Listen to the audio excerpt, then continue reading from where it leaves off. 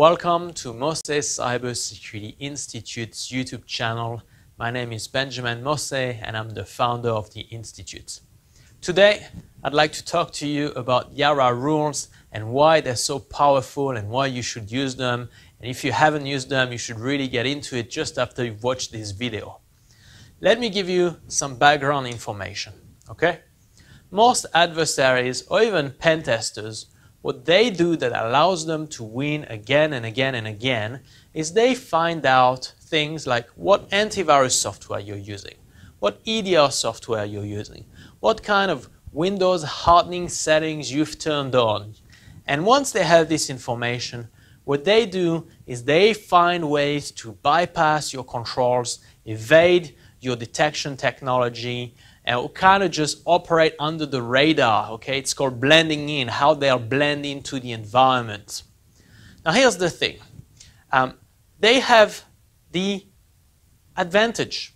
They know in advance what they're going to go against, they're able to anticipate it, find out ways to evade it, and then, only then, do they attack you with custom tools or payloads that have been obfuscated in a way that they've tested in advance if it's going to work. They'll go and buy the antivirus product you're using, find a way to defeat it, and then attack you with the payload that works. And that's why, however much you spend on cybersecurity, doesn't actually give you the advantage against this, since they know in advance what's going to work and what's not going to work. So, cyber defenders have had to use different strategies to deal with these kind of adversaries. What do we do? Well, we write detection rules that we never make available to the adversaries. And the software that we use to be able to write these rules is Yara. Now, there are plenty of other tools out there that you can use as well, but the great thing with Yara is that it's, you know, it's well supported by VirusTotal. Anybody can write rules, and within a few days of training, your security analysts or cyber defenders can start writing Yara rules and defending the network. So here's how that works. Let's say that uh, um, you know, you've identified a attack campaign against your network and you've identified a piece of malware that has successfully bypassed your security controls. Okay? Now what do you do?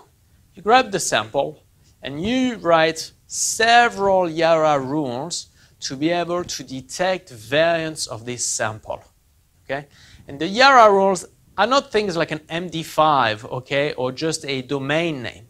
What you do is you identify parts of the code that you think the adversary will either reuse in other malware samples or that it will be incredibly difficult for them to change over time. They would have to rewrite their malware.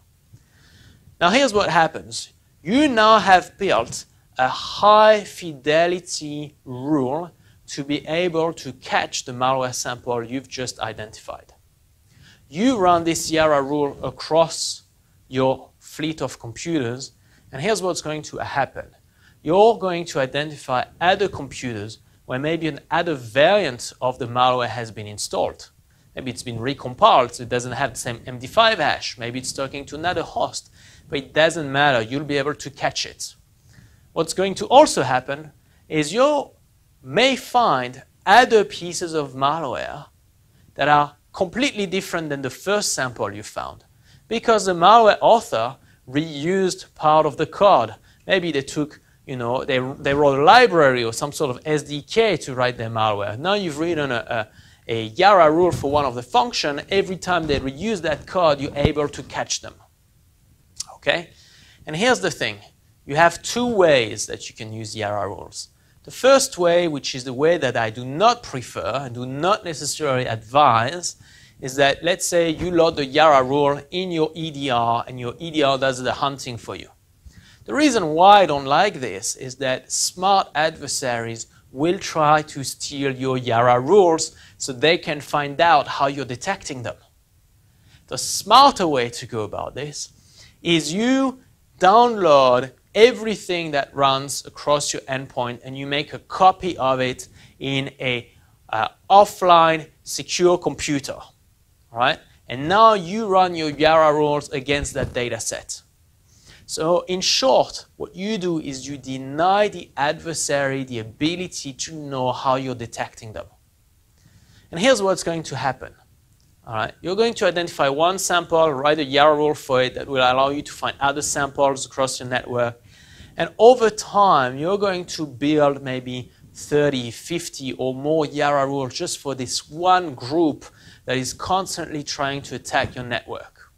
But they'll never know how you're catching them. And since they can't figure out how you're doing it, it's not as easy for them to be able to adapt their strategy. It's not as easy, they're not getting the feedback as to how they're getting caught. They can't get the Yara rule and running into their own environment and find a way to bypass it. And that's how you would be able to gain some level of advantage over them. And you can take this one step further if you wanted to, is you can take some of your Yara rules, you can put them into various VirusTotal or other online services, and now what would happen is that if the adversary is attacking another organization in the world that also uploads their files to various VirusTotal, they may trigger your Yara rule, and that's how you're now able to track adversaries across multiple um, you know, continents and countries, and maybe over time as well. So I hope that you've now understood the power of Yara. And once again, the best blue teamers that I've ever seen in my career all use Yara. Uh, it's incredibly easy to use. And so I'd like to, uh, you know, get you on board with it and uh, get you started with writing Yara rules. So I hope you'll get into it. Cheers. Bye-bye.